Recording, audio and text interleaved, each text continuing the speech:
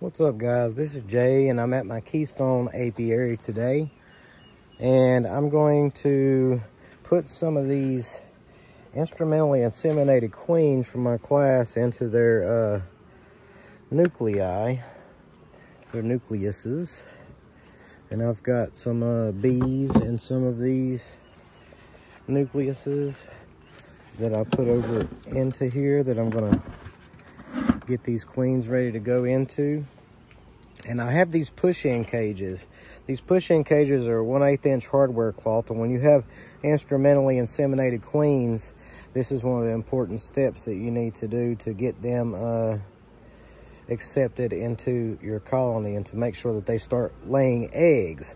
So I'm gonna uh, change the camera around for a second and um, I'm gonna get one of these queens released into the cage and show you what that looks like. All right, so what we wanna do with this eighth inch hardware cloth, we want to put the queen under there and that lets these other bees uh, accept her, her more readily, Let, lets us uh, make sure that she's gonna lay eggs in this colony. They'll have to come in and take this cage off in five or six days and put a queen excluder over the entrance. That way she doesn't try to take a mating flight, at least until she makes more capped brood on her own.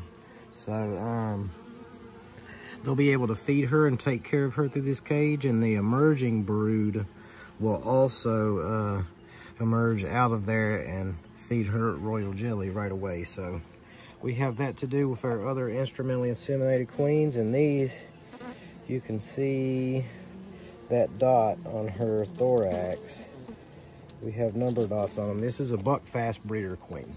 So I've got some uh, VSH Carniolan genetics that I'm going to be doing with the mm-hmm. other breeders that I got here, the ones that I inseminated for my class, and we're going to continue to do that and uh, maybe get some videos of that, or I won't. We'll see what we got after we get in some of these.